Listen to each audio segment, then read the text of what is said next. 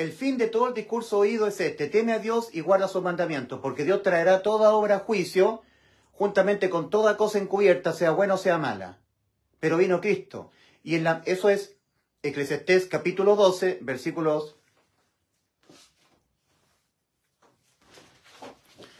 versículos 13 y 14. Ahora tenemos Hebreos 9:27. Tal cual, exactamente igual. Y en la misma medida en que le está reservado al hombre morir una vez, y después de esto el alma ir al infierno para esperar en, en tormento el juicio, ir a juicio, así también Cristo. Fue ofrecido una vez para llevar sobre sí los pecados de muchos. Aquí fue enjuiciado Cristo y experimentó una muerte clínica. Y en la misma medida en que le está reservado a los hombres morir una vez y después de esto a juicio, así también Cristo fue a juicio. Y entró en muerte transitoria y su alma entró a la condenación. Y en la misma medida en que le está reservado a los hombres morir una vez y después de esto ir a juicio y entrar al desamparo eterno de día y de noche, lago de fuego, muerte del alma, así también Cristo entró en juicio a ir a ser desamparado de día y de noche, muerte eterna del alma, en sustitución de nuestras almas. Ahí está la salvación. Esto es Evangelio. Que Cristo murió por los pecados de nosotros. Esa muerte de Cristo fue la de su alma. Mi alma está muy triste hasta la muerte. Mateo 26, 38. Verá el fruto, Cristo, de la aflicción de su alma y quedará satisfecho. Isaías 53, 11. Mas si hubiere muerte, pagarás alma por alma, vida por vida. Por esto me ama el Padre, porque yo tengo poder para poner mi vida en los cuerpecitos de gestación del vientre de María, el alma de Cristo entrar en la eternidad enjuiciado, desamparo eterno de día y de noche, Salmo 22, versículo 2, Clamo a ti de día y no respondes, y de noche no hay para mí reposo, de día y de noche el alma de Cristo entrando en la eternidad en estado de completo desamparo. Tengo poder para poner mi vida, y tengo poder para volverla a tomar. Este mandamiento recibí de mi Padre. Entonces Cristo tenía que consumar un mandato del Padre.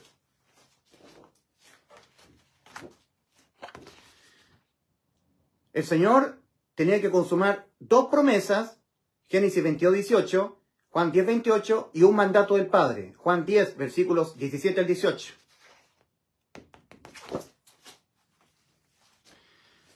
tenía que consumar el Señor para salvar nuestras almas dos promesas y un mandato del Padre.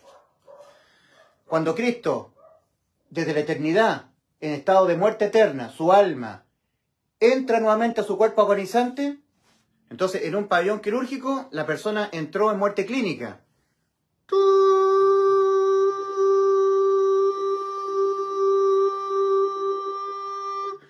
Su corazón se detuvo.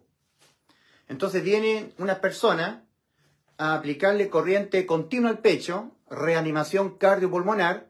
Los cirujanos se retiran un poco para permitir el trabajo de los reanimadores cardiopulmonares.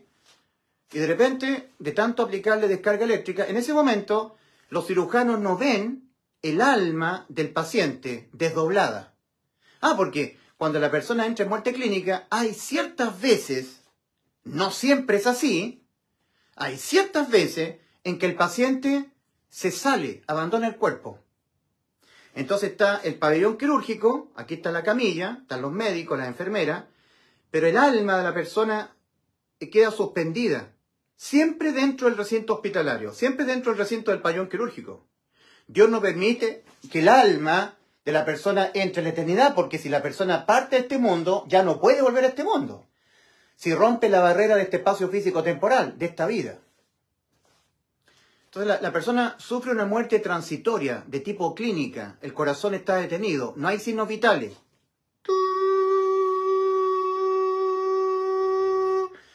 Inicialmente la persona estaba respirando y teniendo signos vitales.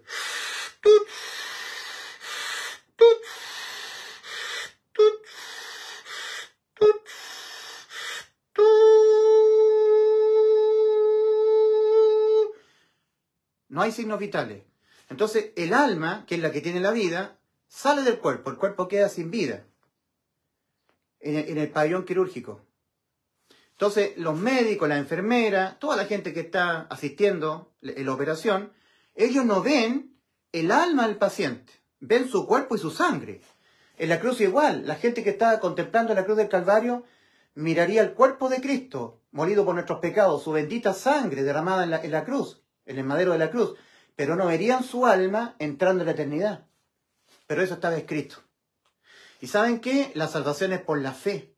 La justificación del ser humano injusto es por la fe. Y fe es convicción de lo que no se ve, pero convicción de lo que está escrito. En 2 Corintios capítulo 4 versículo 13 leemos, pero teniendo el mismo espíritu de fe, conforme lo que está escrito creí, por lo cual hablé. Nosotros también creemos, por lo cual también hablamos, lo que está escrito. 2 Corintios 4, 13.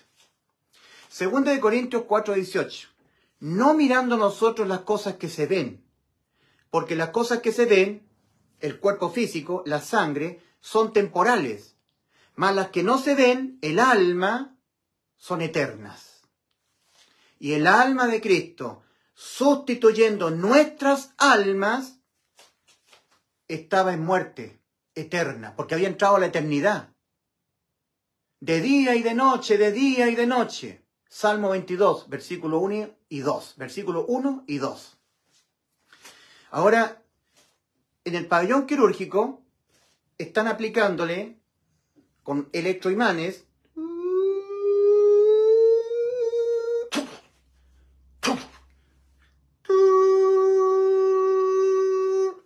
no hay señales de vida. Aumentemos el nivel de, electricidad. Y de repente, de repente, eh, tiene efecto positivo el, trabajo cardiopulmonar.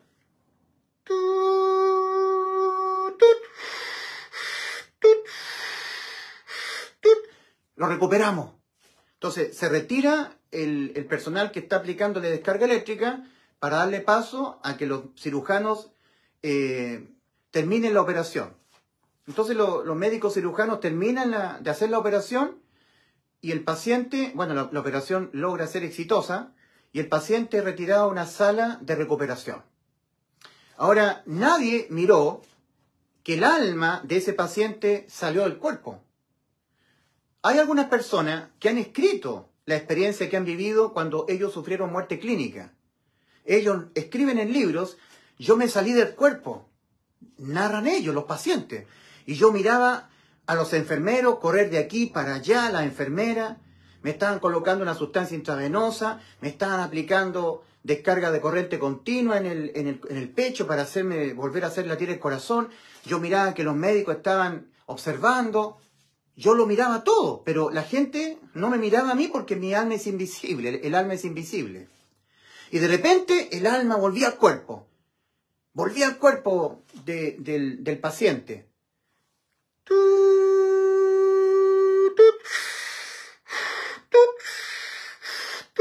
Volví a tener signos vitales. El alma que tiene la vida había entrado en el cuerpo, el cuerpo había recobrado la vida. Nosotros somos el soplo de Dios, nuestra vida es puesta en un cuerpo. Entonces ahí hay nacimiento físico, nuestra alma en el cuerpo de un tiempo uno, tiempo de nacimiento físico, a un tiempo dos, tiempo de muerte física. Físico, el cuerpo. El alma viene de la eternidad, somos el soplo de un Dios eterno, y el alma entra en la eternidad nuevamente. Pero si entra a la eternidad en el camino angosto, va al cielo. Si entra a la eternidad en el camino ancho, va al infierno. Es como la energía el alma en la ley de la termodinámica hay tres principios, ¿verdad? El principio de conservación de la energía, que la energía no es creada ni se destruye, solo se transforma. Siempre existe la energía, solo que cambia de forma de existir. Si antes la energía es eléctrica, ahora es eléctrica, es luminosa y es calórica. Y en la resistencia ocurre un cambio entálpico, entalpía, cambio en la forma de existir de la energía. Y la energía aplicada al sistema donde hay materia, modula la materia. Los estados de la materia, sólido, líquido, gaseoso y plasma. Pero eso en función de la energía aplicada al sistema. Entonces, el primer principio de la termodinámica es el principio de conservación de la energía. Que la energía no es creada ni se destruye, solo se transforma. O sea, la energía siempre va a existir. Segundo, afecta a la materia, el segundo principio de la, termodinámica, que es la entropía, la materia. A medida que transcurre el tiempo, la materia va perdiendo su cantidad de movimiento molecular. Se va degradando. Tercero, el tercer principio, el principio de entalpía, que es el cambio en la manera de existir de la energía. El alma entra en la materia, el cuerpo. Y de ahí en adelante el cuerpo tiene sus días contados porque empieza la entropía. Está sujeta al tiempo, tiempo 1, un tiempo 2. Nosotros calculamos la, segunda ley de la termodinámica con una sumatoria integral, ¿ya? Desde un tiempo 1 a un tiempo 2, en donde derivamos, es la derivada del calor partido por la temperatura, ¿ya? Entonces, a medida que va pasando el tiempo, va a haber pérdida de calor, porque el sistema ha quedado completamente aislado. No hay más aporte de energía. Se ingresó una cantidad de energía que modula, modula, modera el, el comportamiento de la materia. Cuando hay un cubo de hielo, no hay vida, porque no hay movimiento molecular. Al aplicar energía al, al, elemento agua en estado de hielo, cambia la materia de sólido a líquido. Si la, el aporte de energía al sistema ha sido importante, sigue el sistema cambiando de líquido a gaseoso y luego de gaseoso a plasma. Ahora cuando el sistema es irreversible, porque se habla de estados reversibles y estados irreversibles en termodinámica. Entonces nosotros tenemos que hacer mucho límite de las funciones, derivar funciones, integrar funciones en ingeniería mecánica. Entonces el estado, cuando es aislado, el, el estado es irreversible. O sea, no hay ninguna forma de poder revertir. Es irreversible en sistemas aislados. Se aplicó una sola vez energía y eso va cambiando el estado de la materia, de sólido a líquido, líquido gaseoso porque volatiliza y de gaseoso a plasma, dependiendo de la cantidad de energía inicial aportada al sistema. Pero si se le deja así, entonces ahora es, se revierte al, sistema, al estado original. Es decir, de plasma cambia a gaseoso, de gaseoso decanta a líquido y de líquido a sólido. Vuelve al estado original. ¿Ya? Entonces cuando el, el sistema es aislado, es decir, nosotros estamos encapsulados en un espacio físico-temporal. A nuestro cuerpo se le inyecta el alma. Y ahora es cosa de tiempo para que el cuerpo muera. A menos que se le aportara otra energía, otra vida extra, ¿verdad? Pero no hay está irremediablemente condenado el ser humano a sufrir un cambio entálpico. El alma tiene que partir a existir en otro estado de existencia eterna. Aquí la forma de existir del alma es sujeta al espacio físico-temporal. Ahora hay un cambio entálpico aquí. La materia deja de tener movimiento molecular y el alma abandona el cuerpo a existir en estado de existencia eterna, no sujeto al tiempo, atemporal, adimensional. Aquí es dimensional, es sujeto al tiempo, es temporal. En este estado es eterno, atemporal, adimensional. La eternidad. Siempre existir, de día y de noche, de día y de noche, de día y de noche. En uno solo de los dos estados posibles de existencia eterna. ¿eh? La ley de la entalpía, que es el tercer principio de la termodinámica, se verifica cuando hay un conductor eléctrico que tiene que atravesar una resistencia y a partir de la resistencia la energía cambia de eléctrica a eléctrica, luminosa y calórica. Por eso están los calefactores eléctricos. Entonces cambia la forma de existir de la energía. Antes era solamente eléctrica, ahora es eléctrica, pero también luminosa y calórica, porque produce calor. Ahí se verifica el cambio entálpico es un cambio en la forma de existir de la energía. Antes la energía era solamente eléctrica. Ahora no. Ahora es eléctrica, es un saldo que queda de energía eléctrica, más energía luminosa y energía calórica. ¿Ya? Si sumamos la cantidad de energía eléctrica, eh, que es residual, la energía eléctrica, calórica y energía luminosa, es la misma cantidad de energía inicial. Solo que cambió en luminosa y calórica más un residuo de eléctrica. Si antes la energía eléctrica era 20 volt, ahora son 10 volt. Y los otros 10 se combinan entre la energía calórica, un lumen, energía, eh, y energía luminosa, lumen, y energía calórica, kilocaloría. Pero la energía es la misma, la misma cantidad, en magnitud. La energía no es creada por el hombre, es creada por Dios, no es creada ni se destruye, solo se va transformando en otras formas de existir de la energía. ¿ya? Entonces, la energía es como el alma. René Descartes, un filósofo, científico y matemático francés que vivió por el año 1700 en Francia, él postuló lo siguiente, pienso, luego existo. Ahora, nuestro Dios se mueve en el espacio atemporal y adimensional. No está sujeto al tiempo. Es un presente continuo, siempre ser. I be, siempre ser. Never stop being, nunca dejar de ser. Never, never stop being, nunca dejar de ser. Siempre ser. I will be, I will be, I will be. No está sujeto al tiempo. De día y de noche, día y de noche, día y de noche, no está sujeto al tiempo. Eso significa en términos bíblicos, la palabra día y noche, día y noche, significa que no tiene fin. El tiempo le pone fin, ¿cierto? A una especie de vida. Nacemos y morimos, sujeto al tiempo. Tiempo de nacimiento, tiempo de muerte.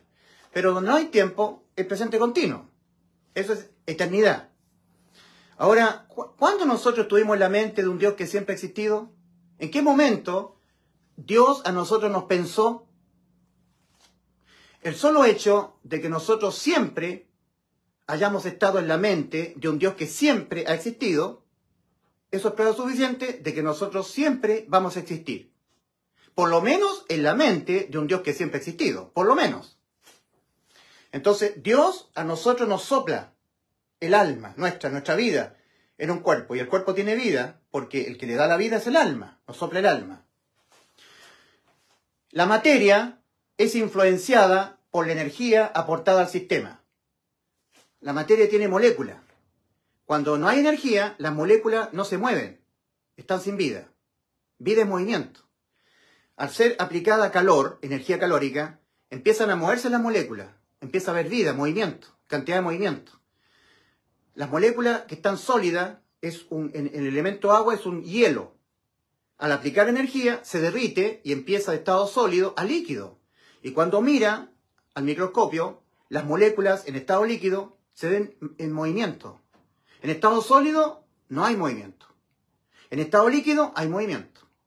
Si la energía aplicada al sistema fue considerable, ahora empieza a evaporar. Estado líquido a vapor, gaseoso. Los estados de la materia, sólido, líquido, gaseoso y plasma, que es el estado sublimal de la materia. Y cuando uno ve al microscopio el estado gaseoso del elemento agua, ve que las partículas se mueven a mucha mayor velocidad. Hay, hay, un cambio en la materia, en el estado de la materia. Y si el aporte de energía fue bien considerable, entonces ahora el estado de, gas cambia a plasma, donde hay mucho movimiento molecular, hay mucha vida. Pero si no, no hay más aporte de energía, el sistema está cerrado, no hay entrada ni salida, entonces el sistema está condenado a una reversibilidad estado reversible. Se le aplicó energía, cambió el estado de la materia, pero la materia, al no aplicar más energía, está condenada a la muerte. El cuerpo. Empezamos a envejecer. Las células del cuerpo empiezan a perder la capacidad, de regeneración celular. Empezamos a tener arrugas, se nos caen los dientes, el pelo se pone blanco, empezamos a envejecer, a envejecer. La materia, el cuerpo. Pero el alma el alma va a sufrir un cambio entálpico. Va a tener que salir, igual que la energía. La energía tiene existencia eterna. No se crea ni se destruye, solo se transforma en otra energía, pero siempre la cantidad es la misma. El alma es aportar al sistema, a la materia, a nuestro cuerpo.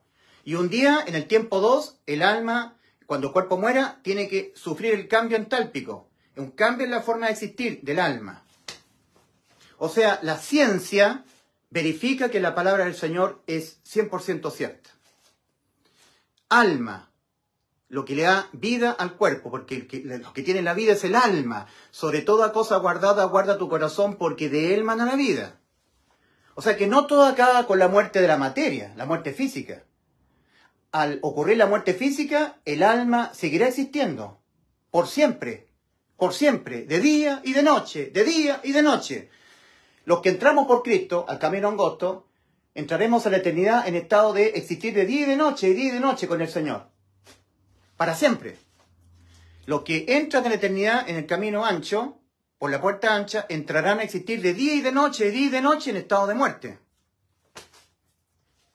Desamparo eterno respecto del Creador, con ausencia absoluta del Creador, de Dios y de todo lo que Dios ha creado y seguirá creando. Hoy en día las personas tienen mucho del Creador, tienen agua, jugos, niños, hijos, familia, esposa, trabajo, salud, todo eso es del Señor. Cuando las personas entren en la eternidad por la puerta ancha, entrarán a la existencia eterna con absoluta ausencia del Creador y de todo lo que el Creador ha creado y seguirá creando. Nunca más podrán ver las estrellas, nunca más podrán escuchar música, nunca más podrán, podrán oír otra alma humana semejante a ella. En completa soledad ausencia absoluta del Creador y de todo lo que, lo que el Creador ha creado y seguirá creando. Solitaria el alma existiendo eternamente. Existirá allí en el lago de fuego mil millones de años. Seguirá existiendo. Pasarán otros mil millones de años y el alma seguirá existiendo en completo desamparo. Clamando al alma de día y de noche, clamando, clamando para que Dios venga en su amparo. Y la realidad es que nunca más Dios vendrá en su amparo. Nunca y pasarán cien mil trillones de trillones de años y el alma seguirá allí, en completo desamparo eterno. ¿Y sabes por qué? Porque el desamparo eterno en la eternidad no acabará jamás. No acabará jamás. Será de día y de noche, de día y de noche, en completo desamparo eterno en el lago de fuego. Ahora es el tiempo aceptable. Ahora es el día de salvación, no cuando te mueras en el camino ancho. Al morirte físicamente tú, habrás sellado eternamente para mal el destino de tu alma irreversiblemente, sin marcha atrás, porque habrás entrado al desamparo eterno. Ahora es el tiempo aceptable. En el Salmo 46 leemos, Dios es nuestro amparo y fortaleza. Sí, nuestro pronto auxilio en las tribulaciones, correcto, pero eso tiene un tiempo aceptable. En 2 Corintios capítulo 6, versículos 1 y 2 leemos, Os exhortamos a que no recibáis la gracia de Dios en vano, porque dice, en tiempo aceptable te he oído, y en día de salvación te he socorrido. He aquí ahora el tiempo aceptable, he aquí ahora el día de salvación, no cuando te mueras físicamente. Al morirte físicamente, no habiendo entrado nunca por Cristo al camino angosto, habrás sellado aquí eternamente para mal el destino de tu alma, porque habrás entrado a la eternidad en estado de desamparo eterno. Ahora es el tiempo aceptable, no cuando te mueras. Ahora es el día de salvación, no cuando te mueras. No cuando tu corazón deje de latir definitivamente. Entonces, en el Salmo 22, nosotros vemos clamando al Señor de día y de noche, de día y de noche, de día y de noche. Cuando Cristo en la cruz estaba cumpliendo el Salmo 22, en Mateo 27, 46 dijo, Dios mío, Dios mío, ¿por qué me has desamparado? Y lo exclamó en arameo. Eli. Esto es, Dios mío, Dios mío, ¿por qué me ha desamparado? ¿Y por qué lo exclamó en arameo? Lo exclamó en arameo para que los judíos entendieran, reconocieran que se estaba cumpliendo el Salmo 22. En otras palabras, para que reconocieran que Cristo era el Mesías prometido. En Isaías 53 leemos, ¿quién ha creído nuestro anuncio y sobre quién se ha manifestado el brazo del Señor? Le veremos inatractivo para que le deseemos, despreciado y desechado entre los hombres, varón de dolores, experimentado en quebranto, y como que escondimos de él el rostro no lo estimamos. Mas ciertamente él llevó nuestras heridas, nuestros sufrió nuestros dolores. Como cordero fue llevado al matadero y como oveja delante de sus trasquiladores enmudeció y no abrió su boca. Debió haber dicho, debió haber dicho, como oveja será llevado delante de sus trasquiladores. Como oveja será llevado, pero dice como oveja fue llevado, como algo consumado, delante de sus trasquiladores. Enmudeció, debió haber dicho, enmudecerá. Cuando venga Cristo a morir en la cruz por nuestros pecados, pero dice, enmudeció, como algo consumado. Mas Jehová cargó en él el pecado de todos nosotros, como algo ya hecho. Isaías 53, 6. Ahora, en Isaías 53, 11, leemos, verá el fruto de la aflicción de su alma. ¿Quién? El Cordero de Dios, Cristo Jesús, nuestro Salvador. verá el fruto de la aflicción de su alma y quedará satisfecho. Isaías 53, 11. En el Salmo 22, versículo 14 leemos, mi corazón se derritió como cera. Mi corazón fue como cera derritiéndose en medio de mis entrañas. Contar puedo todos mis huesos, entre tanto ellos me miran y me observan. Cuando los soldados romanos estaban tirando dados para repartirse la, túnica de Cristo, que era de una sola cortura, los fariseos, los judíos, tendrían que haber reconocido que el que estaba en la cruz era el Mesías prometido. Porque 900 años antes está escrito, repartieron entre sí mis vestidos y sobre mi ropa echaron suerte. Entonces cuando los soldados romanos estaban echando suerte por la túnica del Señor, que era de una sola costura, debieron haber reconocido que el que estaba en la cruz era el Mesías prometido. Como cordero fue llevado al matadero, Isaías 53. Señor, ¿quién ha creído nuestro anuncio? ¿Y sobre quién se ha manifestado el brazo de Jehová? Le veremos inatractivo para que le deseemos, despreciado y desechado entre los hombres, varón de dolores, experimentado en quebranto, y como que condimos de él el rostro no lo estimamos, mas él herido fue por nuestras rebeliones, molido por nuestros pecados, el castigo de nuestra paz fue sobre él, y por su llaga fuimos nosotros curados. Como oveja fue llevado al matadero, y como, como cordero fue llevado al matadero, y como oveja delante de sus trasquiladores, enmudeció y no abrió su boca. Y todo eso se estaba cumpliendo con Cristo. Y los fariseos cerraron su corazón para no reconocer que Cristo era el Mesías. ¿Quién ha creído nuestro anuncio? ¿Y sobre quién se ha manifestado el brazo de Jehová? No, 700 años antes estaba siendo escrito eso respecto de Cristo, lo que iba a padecer Cristo en la cruz. 900 años antes, el Salmo 22. Cuando Cristo en la cruz, cerca a la hora novena, exclamó, Eli, Eli, lama sabachthani. Estaba todo oscuro. Dios mío, Dios mío, ¿por qué me has desamparado? Y los judíos que estaban contemplando la cruz debieron haber reconocido, es el Mesías, es el Mesías, está padeciendo conforme lo que está escrito en Isaías 53, conforme lo que está escrito en el Salmo 22, pero cerraron su corazón para no reconocerlo. Cristo exclamó en el idioma arameo, Eli, Eli, Dios mío, Dios mío, Lama sabachthani, ¿por qué me has desamparado? Es tan importante el Salmo 22. Cristo cumplió al detalle, con exhaustivo detalle, en la cruz todo el Salmo 22.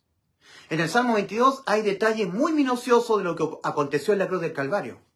Ahora, nuestro Señor Jesucristo, en esas tres horas de oscuridad, fue cargado con todos nuestros pecados y el Padre le quitó el amparo. Estaba todo oscuro, densas tinieblas. Y Cristo, en la cruz, murió.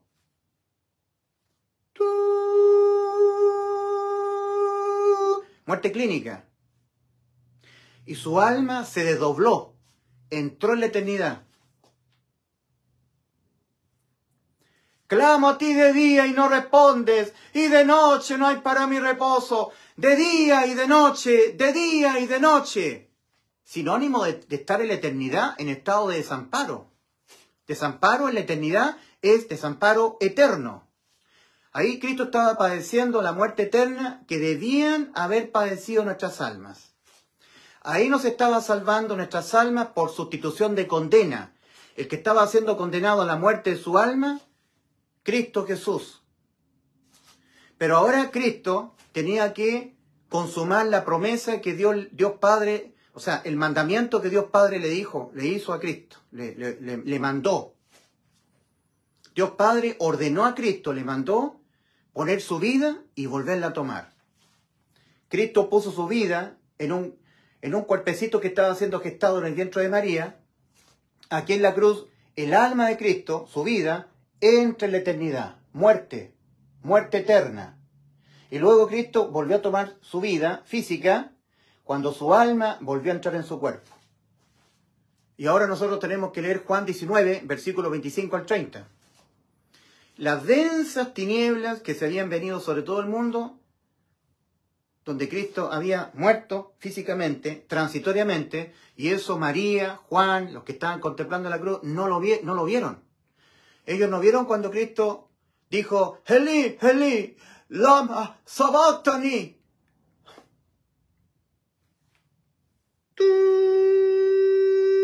Al principio Cristo estaba en la cruz. Heli, Heli, Lama, Sabatani.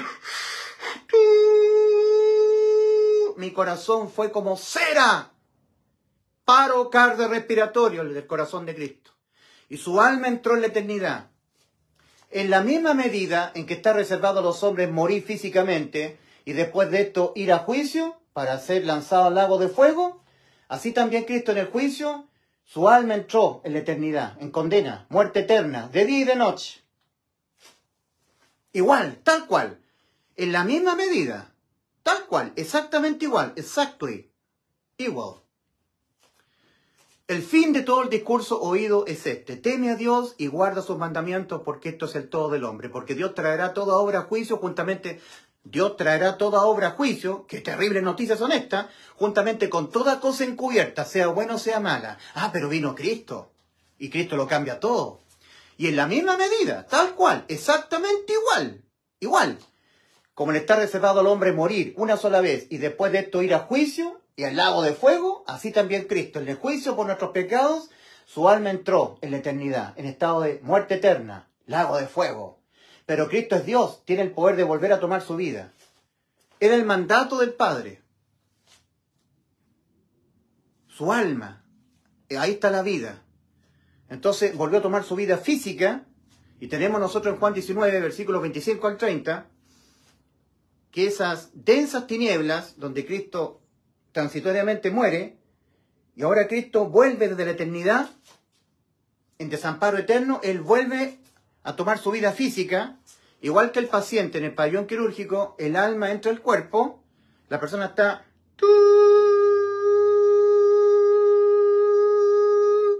Le están aplicando descarga eléctrica para que el corazón vuelva a latir.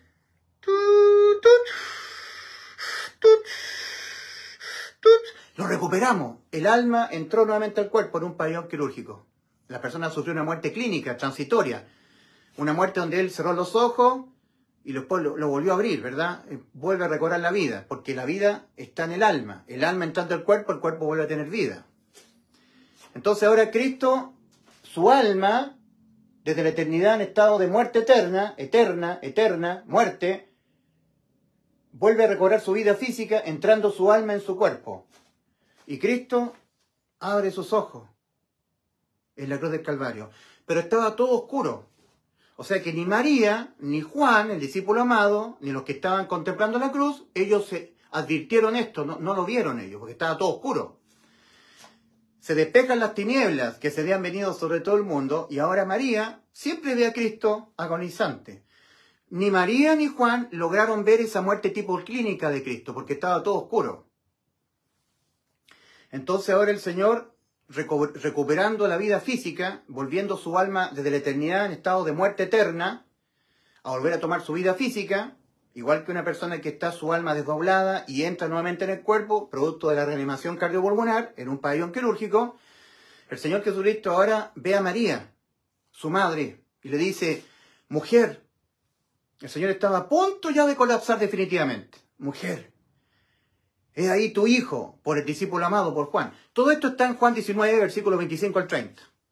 Y al discípulo amado, el Señor Jesucristo le dice, Hijo, he ahí tu madre, por María.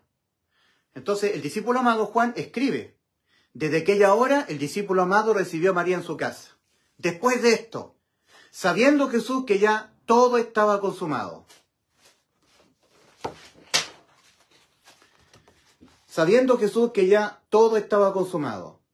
La promesa que Dios le hizo a Abraham, en tu simiente, en Cristo, todas las almas obtendrán la salvación del infierno, completa y absolutamente consumado. Lo que el mismo Señor Jesucristo nos había dicho, yo le doy vida eterna, Juan 10, 28, completa y absolutamente consumado. Estas dos promesas. Y el mandato del Padre, poner su vida y volverla a tomar completa y absolutamente consumado. Juan 19, 28.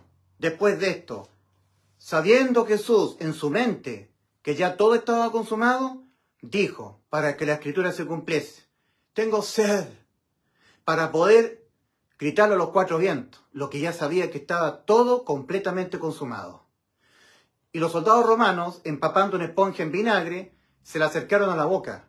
Y cuando Cristo hubo probado vinagre, pudo despegar su lengua de su paladar y exclamó, Finish. Y ahí murió, definitivamente. Entregó su espíritu, diciendo, consumado es, tetelestai, todo pagado, hasta el último centavo. Yo lo salvé, yo anuncié y salvé e hice oír. Hubo un gran terremoto, dice, dice el Evangelio de Juan. Las rocas se partieron. El velo del templo se rasgó de arriba abajo, dando a entender que la entrada al lugar santísimo en el cielo está, es gratuita. Cristo nos abrió la puerta para entrar al cielo. Él pagó en completo precio, el completo precio en rescate de nuestra alma. Cristo es el redentor, aquel que paga un precio en rescate del alma. Y ese precio era el alma de Cristo, en vez de nuestras almas. Alma por alma. Rescate de nuestras almas. Para la salvación del alma, fe en la muerte de Cristo, la muerte de su alma. Fe en el Evangelio. No en la sangre. La sangre de nuestro Señor es bendita, es inmaculada, es preciosa. Pero es para los que estamos en el nuevo pacto. Cristo dijo, esta es mi sangre del nuevo pacto no para el nuevo pacto, de él, que por muchos es derramada para remisión de pecados de los que están en el pacto conmigo. La sangre de los animales era vertida sobre el propiciatorio para hacer expiación por el pueblo que estaba en el pacto, para hacer expiación de los pecados del pueblo que estaba en el pacto. No eran expiados los pecados de los amonitas, moabitas, jerjeseos, eteos, filisteos, no, porque ellos no estaban en el pacto. Cristo tiene su sangre para hacer expiación por los pecados del pueblo que está en el nuevo pacto ahora. Y para estar en el nuevo pacto, fe en la muerte de Cristo por nuestros pecados. Y estando ya en el pacto, ahora sí que fe en la sangre de Cristo para la limpieza constante de nuestros pecados. ¿Ya? El rescate de la vana manera de vivir heredada por nuestros padres es con la sangre de Cristo, pero es el rescate de la vana manera de vivir nada más. El rescate del alma es por el alma de Cristo. Hay gente que nunca en su vida ha reconocido que por haber pecado el alma quedó irremediablemente sentenciada a la muerte eterna. Sea, tenéis que ir a juicio. Irremediablemente desde el punto de vista de lo que nosotros le podamos ofrecer a Dios a cambio de que el alma no quede sentenciada, de lo que podamos hacer o dejar de hacer para evitar esa sentencia, irremediablemente. No desde el punto de vista de Dios, porque Dios lo hizo por nosotros. Anulando el acta de los decretos que había contra nosotros y que nos era contraria, quitándola de medio y clavándole la cruz aboliendo su carne las enemistades, la ley de los mandamientos expresados en ordenanzas. Colosenses 2, versículos 13 y 14 y Efesios 2, 15 respectivamente. Colosenses 2, versículos 13 y 14. Y a vosotros, a vosotros, estando muertos en pecados, y no siendo judíos, sino que siendo gentiles como los colosenses o los chilenos, en la incircuncisión de vuestra carne, Cristo os dio vida juntamente con él, perdonando todos los pecados anulando el acta de los decretos que había contra nosotros y que nos era contraria, quitándola de medio y clavándola en la cruz. Anulando el acta de los decretos. Acta de los decretos anulada. Ley de los mandamientos expresados en ordenanzas abolida. Aboliendo en su carne las enemistades, la ley de los mandamientos expresados en ordenanzas. Efesios 2.15. Y donde no hay ley, no se inculpa de pecado. Romanos 5.13. Donde no hay ley penal, no se inculpa penalmente a la persona que peca. Y si a mí no se me inculpa penalmente los pecados que cometo, yo tengo vida eterna. No hay condena a la muerte para mi alma. Esta es la condena penal, la muerte del alma. Donde no hay ley penal, no se inculpa penalmente por los pecados que se cometen. Tengo inimputabilidad penal, vida eterna. Ahí está la salvación de Cristo. Ese fue el resultado de que Cristo haya muerto por nuestros pecados. Nos ha dejado inimputables penalmente. Pecamos y nunca más condenados al infierno vida eterna. Inmortalidad. Según de Timoteo 1.10, se está hablando de la gracia, recibir sin mérito. La gracia, pero manifestada ahora mediante la aparición del Redentor de nosotros, del Salvador de nosotros, Cristo Jesús, que abolió por una parte la muerte, la muerte no contra el cuerpo, tampoco contra el espíritu, porque el espíritu muere, Dios lo hace nacer de nuevo, el cuerpo muere, hay resurrección para vida. No, no ha sido abolida la muerte para el espíritu para el cuerpo, lo que ha sido abolida es la muerte para el alma. Pero manifestada ahora la gracia mediante la aparición del Salvador de nosotros, Cristo Jesús, que abolió por una parte la muerte contra el alma y sacó a luz por otra la vida y la inmortalidad mediante el Evangelio mediante que Cristo, el hecho de que Cristo murió por los pecados de nosotros, conforme a las Escrituras, y que fue sepultado. Christ died for our sin, conforme Scripture, conforme a las Escrituras, y que fue sepultado, y que ha sido resucitado al día tercero, conforme a las Escrituras. Y que fue visto por Pedro, esto es por Cefas, Pedro, luego por los doce, y luego por más de 500 hermanos de una vez, de los cuales muchos de ellos aún viven y otros ya duermen, y al final como un abortivo se me apareció a mí. Eso es 1 Corintios 15, del 1 al 5. Yo os hago saber, hermanos, dice Pablo, el evangelio que os prediqué, en el cual soy, estáis firmes, estáis en pie, en el cual sois salvos, si os asís a la palabra que os prediqué, a no ser que en vano creísteis. Si tú depositas una fe en, en un anuncio que no hay este, no sois salvos. Si os asís, si depositáis fe en este anuncio, si no, no sois salvos. Si os asís a la palabra que os prediqué, a no ser que en vano creísteis. Creísteis en este anuncio, pero lo creísteis sin fe. Tampoco te sirve porque es en vano creer sin fe. Tiene que ser con fe. Porque el injusto es justificado por la fe, no por creer. Los demonios creen y tiemblan, porque los demonios vieron al Creador. En cambio, fe es convicción de lo que no se ve. Nosotros podemos tener fe, creer sin ver. Los demonios ya no pueden tener fe porque ellos ya vieron al Creador. ¿Me entiendes? Entonces, Romanos 3.10, como está escrito, no hay justo ni a uno. 1 Corintios 6, versículos 8 y 9. ¿No sabéis que los injustos no van al cielo? ¿No heredarán el reino de Dios? ¿Y de qué manera Dios declara justo a un injusto? Por la fe. Justificados, declarados justos los injustos por la fe, tenemos paz para con Dios por medio de nuestro Señor Jesucristo. Romanos 5, 1. Fe es certeza y convicción. Es pues la fe, la certeza de lo que se espera, la convicción de lo que no se ve. Entonces cuando Cristo dijo, yo le doy vida eterna, que era la promesa que estaba con juramento, ¿verdad? Darnos vida eterna. Y la consumó en la cruz diciendo, consumado es, entonces lo que a mí me corresponde es creer con todo mi corazón que yo ya tengo vida eterna. Porque lo consumó Cristo por mí en la cruz. A un alto precio, ¿verdad? Este fue el precio que pagó Cristo. El precio que yo debía pagar por mis pecados era este. Ir al infierno, a esperar en tormento el juicio, el juicio ante el gran toro blanco de Apocalipsis 20, el 11, el 15, y aquí, por un pecado, lanzado al lago de fuego. Muerte segunda, muerte del alma, desamparo eterno de día y de noche. Ese precio lo pagó Cristo, en vez de mí. Y si alguien paga en vez de mí y me lo da gratis, el pago lo hizo Él, eso es mío, porque Él me lo dio por gracia, me lo regaló. Cristo me ha regalado la vida eterna. Es gratuita, sin mérito. Ahora la persona tiene que hacerla efectiva para Él, hacerla real, creyéndola de todo corazón. Si usted cree que Cristo le salvó, pero no está plenamente convencido, si usted ha creído, pero dice usted, sí, pero además yo tengo que estar dependiendo de dejar la tibieza, guardar santidad, dejar el pecado, perseverar, porque si no igualmente va al infierno, usted se va al infierno. Sí, porque basta que Dios detecte en usted la más mínima dependencia suya en cuanto a la salvación del alma de usted, para que Dios le impute a usted que usted todavía se encuentra dependiendo de usted para la salvación del alma de usted, de dejar la tibieza, dependiendo de dejar la tibieza, guardar santidad, dejar el pecado. Por lo tanto, no creyó que ya Cristo le salvó. Porque si usted está dependiendo para ser salvo de todavía estar dejando la tibieza, porque si no deja la tibieza lo vomita la boca y se va al infierno, entonces usted no ha creído que ya Cristo le salvó. Y Cristo ya nos salvó de tener que ir al infierno, al juicio y al lago de fuego. El alto precio que tuvo que pagar Cristo en la cruz. Su sacrificio tan grande. Que tiene una potencia salvífica, salvífica infinita. Una potencia salvífica infinita. Un poder de salvación pero inconmensurable. Abarca todo evento pecaminoso que nosotros hagamos en esta vida. Cualquier cosa que yo haga en esta vida o deje de hacer que a mí me condenase mi alma a la muerte, imputado a Cristo. Cualquier cosa en mi vida hasta que yo me muera, que a mí me condenase mi alma a la muerte, a la muerte, imputado a Cristo.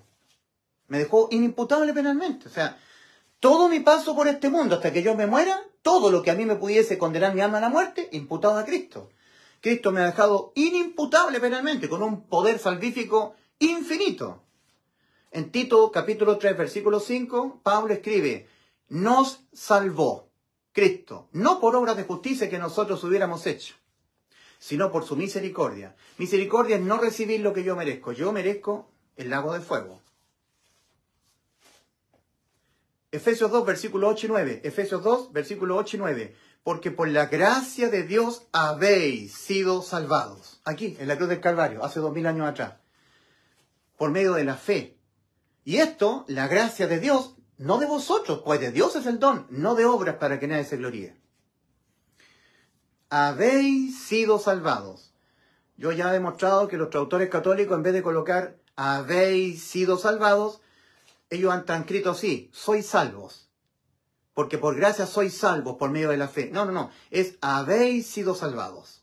Aquí, en la cruz. Habéis sido. Está, está consumado. Ahora, para que entendamos que para Dios, para Dios está todo consumado ya. Para Dios ya está hecho. Eso es lo importante. Para Dios ya está completamente consumada la vida eterna para nosotros. Absolutamente. Ahora yo la tenga que creer con todo mi corazón, porque si no, no la hago efectiva para mí la vida eterna. ¿Eh? Efesios 2, versículo 6.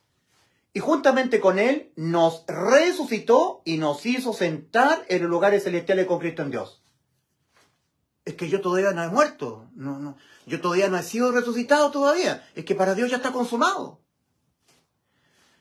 Colosenses 3, versículo 1 al 3. Si pues habéis resucitado con Cristo, lo cual para Dios es algo completamente consumado.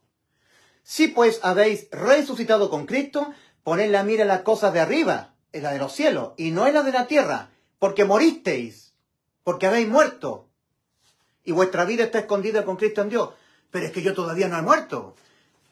El alma mía, ya, debía morir por los pecados míos. El alma de Cristo experimentó la muerte. Y cuando Cristo experimentó la muerte del alma, mi alma murió también. Cuando Cristo volvió a tomar su vida, yo volví a tomar mi vida con Él. Estoy fusionado con Cristo. Fusionado. Cristo en mí, yo en Él. Cuando Cristo murió, yo morí con Él. Cuando Cristo ha sido resucitado, yo he sido co-resucitado con Él. Cuando Cristo ascendió a los cielos, yo he ascendido a los cielos juntamente con Cristo y estoy sentado en los lugares celestiales con Cristo en Dios. Listo, consumado. Solo es cosa de tiempo. Para mí es cosa de tiempo. Yo muero y voy al cielo. Ya me consumó la salvación Cristo. Entonces yo la tengo que creer con todo mi corazón. Si yo la pongo en duda, la salvación de Cristo, diciendo sí, Sí, pero dudo, porque si yo, si yo no guardo santidad, me voy al infierno.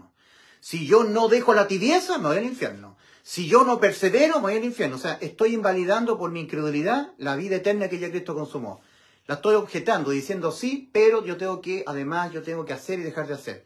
O sea, aparte de lo que ya Cristo consumó, la vida eterna para mi alma, que yo tenga que hacer más o dejar de hacer más para por fin ser salvo, eso es mostrar incredulidad a la vida eterna ya consumada por Cristo. Y eso es lo que condena.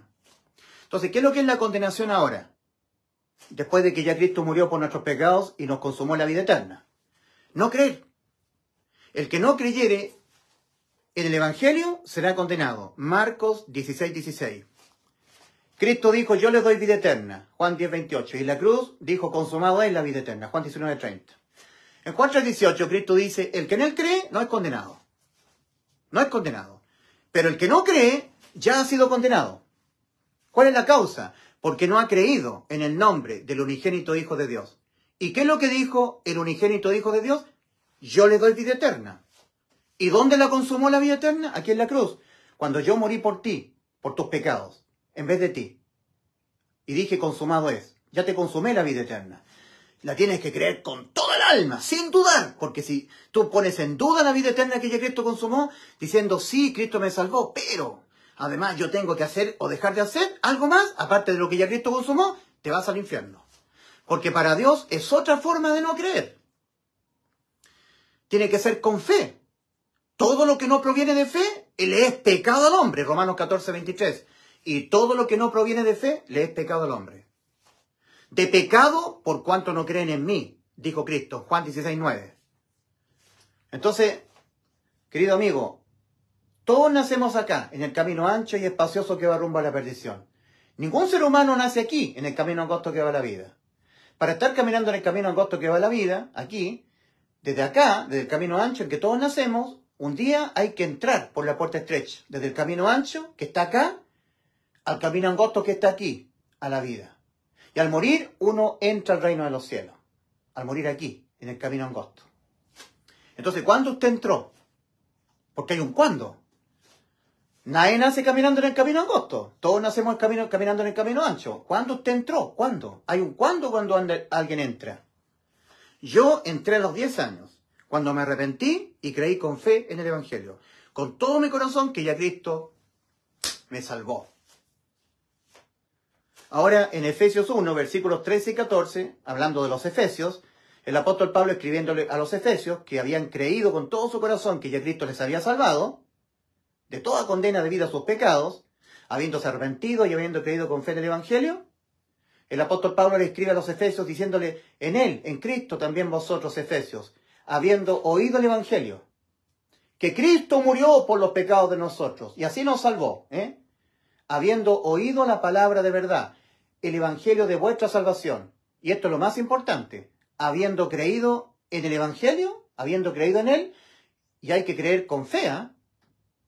Porque todo lo que no proviene de fe le es pecado al hombre. Es otra forma de no creer. Creer con incertidumbre, con incerteza, dudando, no estando completamente convencido, no habiendo creído del todo. Eso es creer sin fe.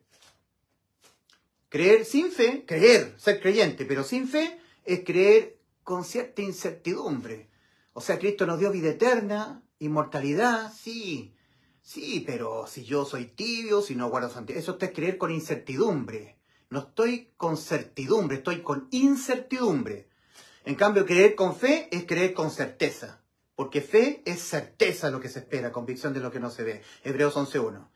Entonces, una persona cree en Cristo, es creyente, pero sin fe es otra forma de no creer. La persona no entra. Pero si la persona cree en la absoluta y perpetua salvación de Cristo, perpetuo perdón de todos los pecados, vida eterna perpetua, para siempre, vida perpetua, perpetua salvación, perpetuo perdón penal de todos los pecados que cometeremos en esta vida, absoluta vida eterna, inmortalidad, ya la tengo. Entonces cuando uno lo cree con todo el corazón, ahí hace efectiva la vida eterna y Dios lo hace entrar por, por Cristo el camino angosto, la puerta estrecha el camino angosto. Y cuando la persona entra, ahora Cristo entra dentro de la persona, es sellada hasta la redención, es sellada con el Espíritu Santo de la promesa. Entonces, a los Efesios, el apóstol Pablo, en Efesios 1, versículos 3 y 14, les escribe, en Cristo, en Él también vosotros, Efesios, habiendo oído el Evangelio, habiendo oído la palabra de verdad, el Evangelio de vuestra salvación, que dice que Cristo murió por los pecados de nosotros. Y si Cristo en vez de mí muere por los pecados de mí, entonces yo ya no muero por los pecados míos. Nadie paga dos veces con la muerte por los mismos, los mismos pecados. Me salvó. Habiendo oído la palabra de verdad, Efesios, el Evangelio de vuestra salvación, y esto es lo más importante, habiendo creído en Él con fe, entonces Cristo entró en ustedes, fuisteis sellados con el Espíritu Santo, el Espíritu de Cristo de la promesa, que es las arras de nuestra herencia en los cielos, hasta el evento del arrebatamiento de la iglesia de Cristo, hasta la redención de la posesión adquirida, para alabanza de su gloria. Sellado, perpetua salvación. Porque el que tiene a Cristo tiene la vida eterna. El que no tiene a Cristo no tiene la vida eterna. Primera Juan 5, versículos 10 al 12. Y cuando Dios sumerge a Cristo dentro de mí, porque yo he creído con fe, me sella perpetua salvación, vida eterna, inmortalidad. Ahora, cuando yo cometo pecado, contristo al Espíritu Santo, lo entristezco, me vienen las consecuencias por pecar, castigo, disciplina, pero nunca más la muerte del alma, vida eterna. Eso hay que creerlo con todo el corazón. ¿Ha creído que Cristo murió por sus pecados y así le salvó? ¿Tiene usted vida eterna? ¿Tiene a Cristo morando dentro de usted? Es por eso que en Romanos 8.9 dice, si es que el Espíritu de Dios mora en vosotros. Y si alguno no tiene el Espíritu de Cristo, no es de él. Tiene que estar el Espíritu de Cristo sumergido dentro de usted. El que tiene el Hijo tiene la vida. El que no tiene el Hijo de Dios no tiene la vida, no tiene la vida eterna. Primera Juan 5, versículos 10 al 12. 2 Corintios 13.5. Examinaos a vosotros mismos si estáis en la fe. Probaos a vosotros mismos ¿O no conocéis a vosotros mismos que Jesucristo está en vosotros? A menos que estéis reprobados, descalificados en cuanto a la fe, y por lo tanto creíste sin fe, y Cristo no ha sido sumergido dentro de ti. Cuando Cristo saca a todos sus discípulos a las afueras de Jerusalén y le da la gran comisión, en Marcos capítulo 16, versículo 15 al 16, Cristo dice, id por todo el mundo, creyentes míos, y predicad el Evangelio a toda criatura. Da dos requisitos el Señor. El que oyere el Evangelio y lo creyere, el que creyere en el Evangelio, y que como resultado de haberlo creído con fe, entonces yo le sumergiere dentro el Espíritu Santo, yo mismo en forma espiritual, mi espíritu, viniese a ser sumergido dentro de él, fuere bautizado, bautismo espiritual, inmersión del Espíritu de Cristo dentro de la persona, esa persona será salva porque tendrá Cristo, espiritualmente hablando, el Espíritu de Cristo. El que tiene Cristo tiene la vida. Y el que no creyere será condenado. O sea, el segundo requisito es ser bautizado con el Espíritu Santo. Y eso ocurre cuando la persona, habiendo creído, aporta fe a su creer. O sea, la persona tiene que creer en el Evangelio. Que Cristo murió por los pecados de nosotros y así nos salvó. Nos salvó, nos dio vida eterna. Pero ese creer tiene que ser añadido fe. O sea, tengo que estar plenamente seguro que al morir voy al cielo. En 1 Juan 5:13 dice Juan a los creyentes, estas cosas os he escrito a vosotros que creéis en el nombre del Hijo de Dios para que sepáis que tenéis vida eterna. Para que ustedes sepan que ya tienen vida eterna, los que han creído en el Hijo de Dios. Estas cosas os he escrito a vosotros que creéis en el nombre del Hijo de Dios para que sepáis que tenéis vida eterna. Cristo no vino a morir por nuestros pecados en la cruz para darnos vida eterna, para que usted no tenga certeza de lo que le espera después de morir el que usted no tenga plena certeza de lo que le espera después de morir se debe a que usted no ha creído con fe que ya Cristo le salvó. Porque si usted hubiese creído con todo su corazón que ya Cristo le salvó, tendría plena certeza que al morir va a la vida eterna. Y esa falta de tener certeza es falta de tener fe. Usted es un creyente sin fe. Entonces no tiene a Cristo morando dentro. No ha entrado al camino angosto y no tiene a Cristo morando dentro de sí. Todos los verdaderos salvados hacemos nuestras las palabras que el apóstol Pablo escribe a los creyentes de Galacia, pero creyentes con fe. ¿eh? Gálatas 2, versículos 20 al 21. Con Cristo estoy juntamente crucificado, y ya no vivo yo, mas Cristo vive dentro de mí en forma espiritual, mas Cristo vive en mí. Y lo que ahora vivo en la carne, lo vivo en la fe del Hijo de Dios, el cual me amó y se entregó a sí mismo por mí. Sustitución. Cristo en vez de mí muere la muerte de mi alma por los pecados de mi alma. Mi alma ha quedado liberada de la muerte por mis pecados, que yo cometeré hasta que me muera físicamente. No, no, rechazo la gracia de Dios, pues si por la ley fuera la justicia, entonces por demás murió Cristo. Y Cristo no murió por demás. Cristo murió por los pecados míos, para darme vida eterna. No desecho la gracia de Dios, pues si por la ley fuera la justicia, entonces por demás murió Cristo. Entonces, Eclesiastés 12, versículos 13 al 14. El fin de todo el discurso oído es este, teme a Dios y guarda sus mandamientos, porque este es el todo del hombre, porque Dios traerá toda obra a juicio, a juicio, juntamente con toda cosa encubierta, sea buena o sea mala. Mala noticia. Ah, pero vino Cristo. Y en la misma medida, si tal cual, exactamente igual, como le está reservado al hombre morir una vez físicamente y después de esto su alma ir al juicio ante el gran trono blanco, así también Cristo. Murió en la cruz, transitoriamente y su alma enjuiciada fue a la condena eterna. Y luego Cristo volvió a tomar su vida y nos salvó, nuestras almas por sustitución de condena. Juan 5:24, Cristo, de cierto, de cierto digo, el que oye mi palabra y cree al que me envió, tiene vida eterna, y a juicio no viene. Ya no va a juicio, ha pasado de muerte a vida. Entonces, para consumar el Señor la vida eterna que nos prometió, tuvo que consumar dos promesas, Génesis 22, 18, Génesis, o sea, Génesis 22, 18, promesa con juramento, Hebreos 6, versículos 13 al 18, y la promesa que nos hizo nosotros, Juan 10, 28, vida eterna. Y también tuvo que consumar el mandato del Padre, Juan 10, versículos 17 al 18, poner su vida y volverla a tomar. Y en Juan 19, 30, Juan 19, 28, leemos nosotros, sabiendo Jesús en la cruz que ya todo estaba consumado. Ahí nos salvó el alma antes de morir físicamente el Señor. Y ahí tenemos la mayor prueba de que la fe que tenemos que poner nosotros para la salvación del alma es en la muerte del alma de Cristo y no en su sangre. La vida de la carne en su sangre, eh, la vida de la, de la carne en la sangre está. Levítico capítulo 17 versículo 11. Y la vida de la carne de Cristo aún estaba en él. Y ya sabía que nuestras almas estaban salvadas.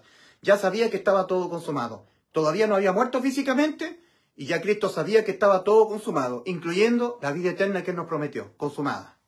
Y ahí tenemos la mayor prueba de que para ser salvo uno tiene que depositar fe en la muerte del alma de Cristo y no en, su sangre.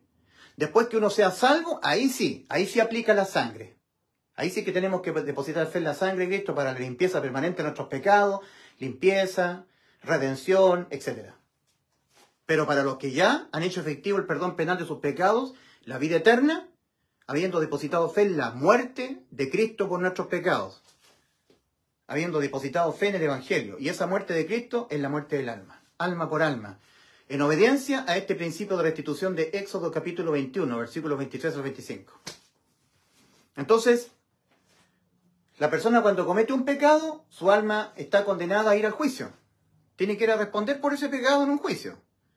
Para evitar el juicio, el ser humano nunca tendría que cometer ningún pecado. Pero eso no es imposible. No basta un pecado para tener, estar sentenciado a tener que ir a juicio, a juicio ante Dios. Y aquí nadie se salva.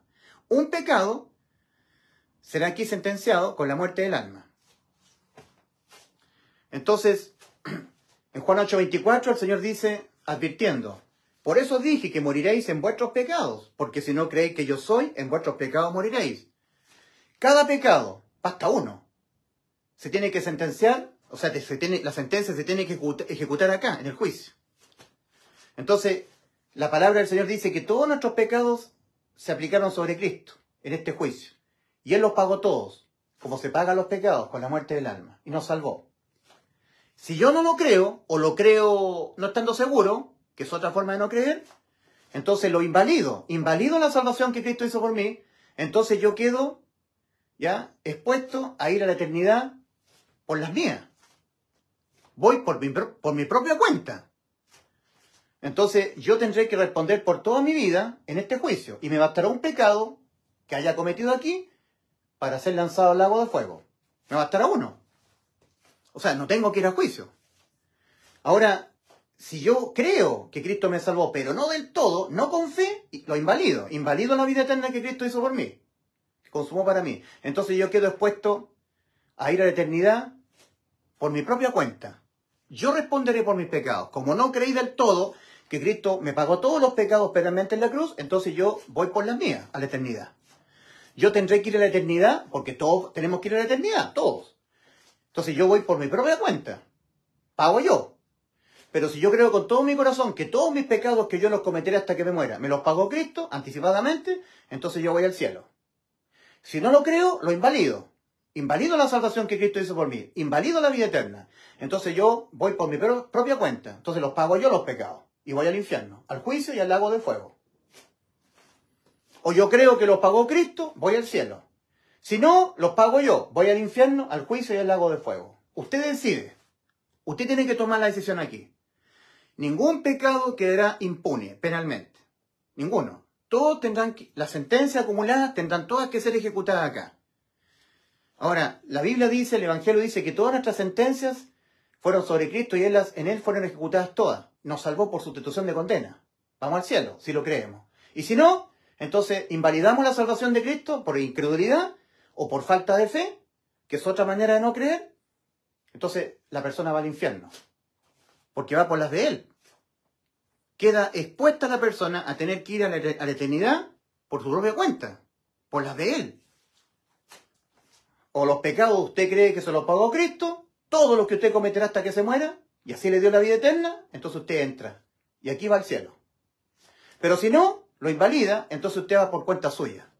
Porque no creyó que Cristo le salvó, entonces usted tendrá que ir a pagar por sus pecados yendo al infierno, esperando el tormento, el juicio, y aquí, por cada pecado, grado de condena al lago de fuego. Porque los pecados penalmente se pagan con el lago de fuego, con la muerte del alma. Así que, querido amigo, arrepentidos ahora, mientras hay tiempo, y creed con fe en el Evangelio. Crea que cuando Cristo murió por los pecados de usted, le ha dado perpetua salvación, vida eterna. Y los pecados que usted cometa acá le traerán castigos, consecuencias, pérdida de muchas cosas, pérdida de la salud, pérdida financiera, pérdida de la paz, pérdida del gozo, muchas pérdidas, pero nunca la pérdida del alma. Nunca. Porque de eso se encargó Cristo en la cruz.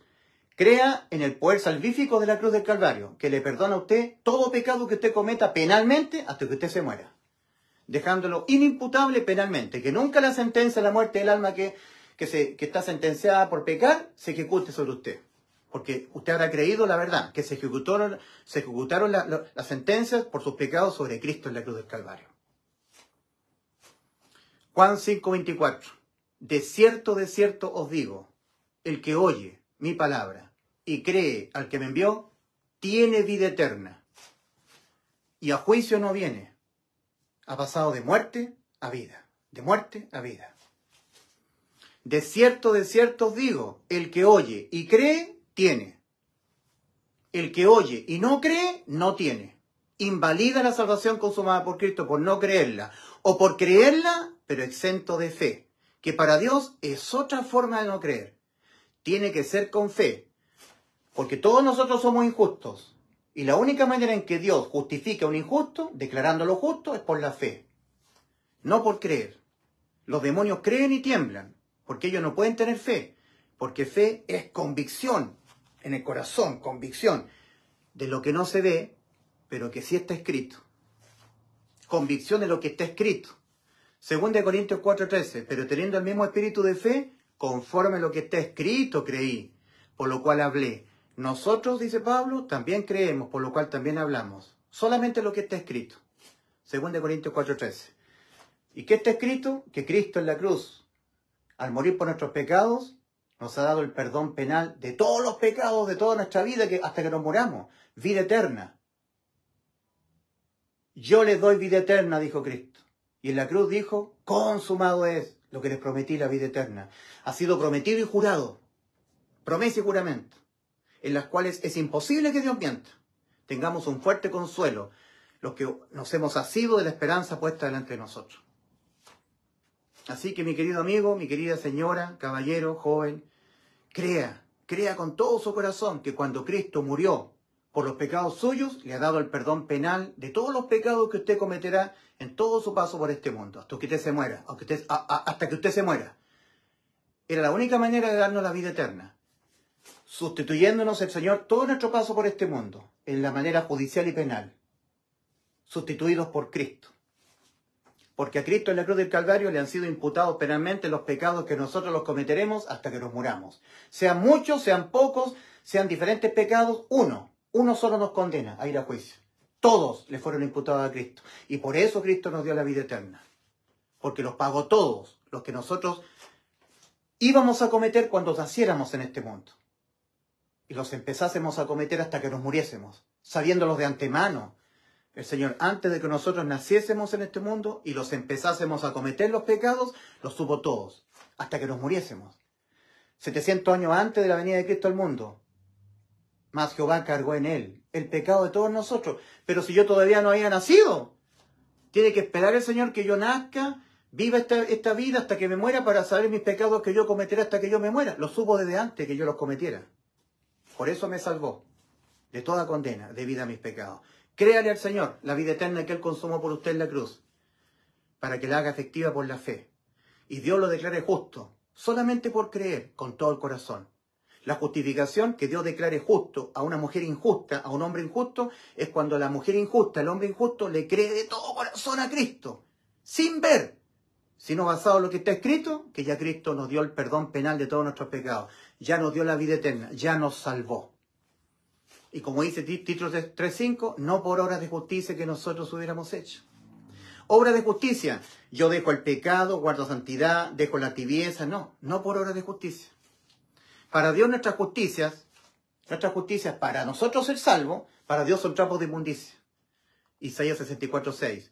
Cuando nosotros seamos ya salvados, como yo ya lo soy, ahora sí, nuestras justicias van a ser agradables para Dios pero para ser salvo, ofrecerle obras de justicia, aparte de lo que Cristo hizo por nosotros en la cruz, para Dios son trapos de inmundicia. Isaías 64, 6. Si bien todos nosotros somos como sociedad y todas nuestras justicias como trapos de inmundicia. Y que yo esté, cual pámpano, permaneciendo en la vid para no ser cortado o echado al fuego, eso es una obra de justicia mía. Es una justicia mía que yo esté dejando la tibieza porque en Apocalipsis 3.16 dice, por cuanto eres tibio y no eres frío ni caliente, te vomitaré mi boca, entonces yo dejo la tibieza y me vuelvo fervoroso, es una justicia mía. Y si yo se la estoy pretendiendo al Señor que Él me las tome en cuenta para, para poderme justificar y salvar, para Dios son puros trapos de inmundicia. Entonces todo lo que dice del pámpano y, la, vid es un, un símbolo de Cristo, cual vid, entrando en nosotros los pámpanos. Entonces nosotros, gracias a lo que Cristo hace por nosotros, nosotros cuales pámpanos permanecemos en la vid y la vida en nosotros, que es Cristo, en nosotros los pámpanos. Juan capítulo 15, el 1 al 7. Cristo es la santidad, sin la cual nadie verá al Señor. Hebreos, 9, Hebreos 12, 14. Y cuando Cristo, la santidad, entra dentro de mí, yo por fin tengo la santidad, la de Cristo, sin la cual nadie verá al Señor. O sea, se cumplen muchas cosas que están escritas en la Biblia cuando Cristo entra en nosotros y nos da el perdón penal de todos nuestros pecados, perdón total, penal, absoluto y vida eterna. Entonces, si yo me muero, ¿dónde voy? 100% al cielo, a la vida eterna. ¿Y por qué? Porque Cristo murió por los pecados míos. Y así me salvó de toda condena de vida a los pecados míos. Créalo. Haga efectiva la vida eterna que ya Cristo consumó en la cruz del Calvario. Creyéndola, creyendo, creyendo que ya Cristo le salvó de toda condena. Que cuando usted se muera se va al cielo. Por esta obra sacrificial de expiación penal de todos nuestros pecados ocurrida en la cruz del Calvario. En Hechos 4.12 dice la Escritura, fuera de Cristo en ningún otro hay salvación. Porque no hay otro nombre debajo del cielo, dado a los hombres, debajo del cielo, dado a los hombres, en quien podamos ser salvos. Y en ningún otro hay salvación fuera de Cristo. Hechos capítulo 4, versículo 12. Y en ningún otro hay salvación. Salvación dice el infierno. Y en ningún otro hay salvación, porque no hay otro nombre debajo del cielo dado a los hombres en quien podamos ser salvos de ir al infierno. Salvos del infierno. Hechos 4:12. Cristo dijo, yo soy la puerta. Yo. El que por mí entrare será salvo del infierno. Juan capítulo 10, versículo 9. Y Cristo en Mateo 7, versículos 13 y 14 dice, entrad por la puerta estrecha. Porque ancha es la puerta y espacioso el camino que va rumbo a la perdición, el infierno. Y muchos son los que entran por ella. Porque estrecha es la puerta y angosto el camino que va a la vida y pocos son los que la hallan. Entrad. La entrada está liberada. No hay que pagar un precio por entrar. El precio fue pagado por Cristo.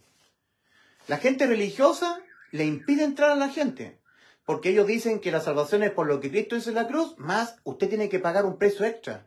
Usted tiene que dejar de hacer, hacer, cumplir los mandamientos, dejar el pecado, dejar la tibieza, guardar santidad. O sea, tiene que pagar un precio extra al precio ya pagado por Cristo.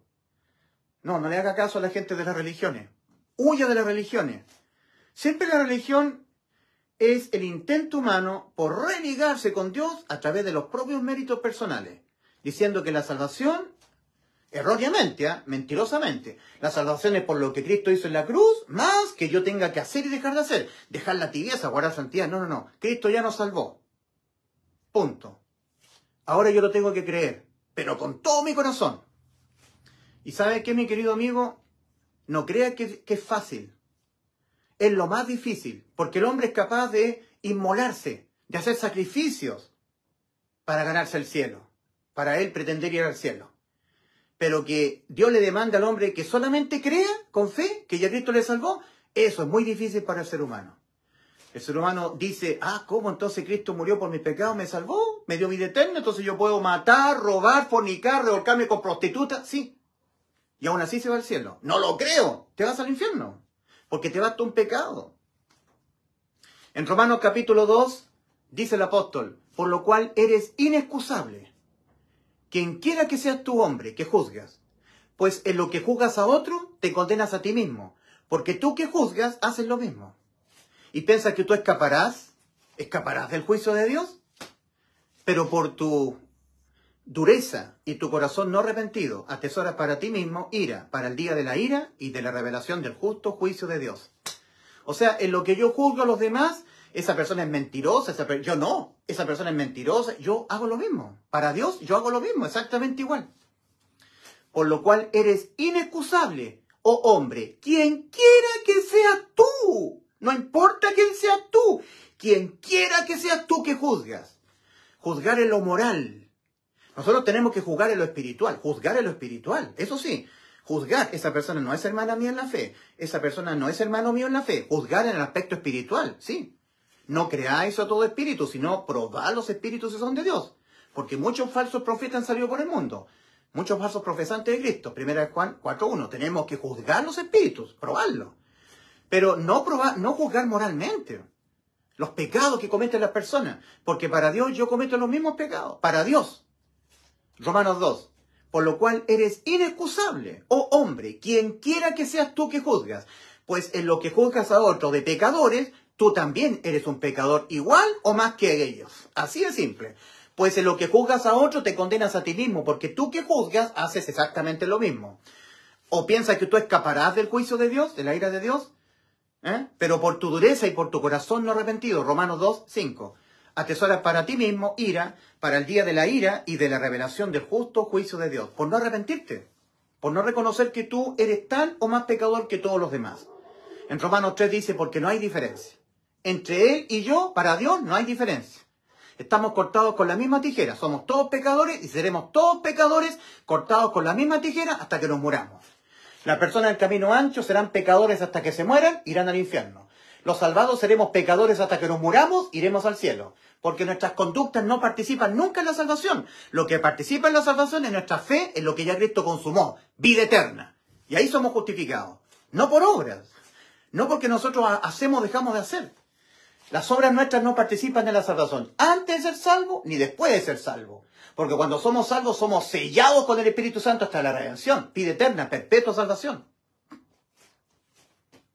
Los que están acá son pecadores y pecarán hasta que se mueran. Y los que entramos por Cristo del camino ancho al camino angosto seremos pecadores igual que ellos hasta que nos muramos. Pero nosotros entramos por la puerta estrecha. Vamos por Cristo a la vida eterna. Vamos por Cristo a la eternidad. Ellos van con las suyas a la eternidad, a responder por sus propios pecados. Nosotros creemos que Cristo respondió por nuestros pecados. Ya no vamos por las nuestras, vamos por Cristo. Estas personas van por las de ellos, por su propia cuenta, porque no creyeron que Cristo murió por sus pecados. Querido amigo, querida amiga, crea que Cristo murió por sus pecados. Haga efectivo el perdón penal de todos sus pecados que usted lo cometerá hasta que se muera, creyendo en la cruz de Cristo, creyendo en el Evangelio, que Cristo murió por sus pecados. Si usted no cree que Cristo murió por sus pecados, entonces usted morirá en sus pecados y los irá a pagar acá arrepentidos y creed en el Evangelio para que seáis salvos de toda condena debido a los pecados.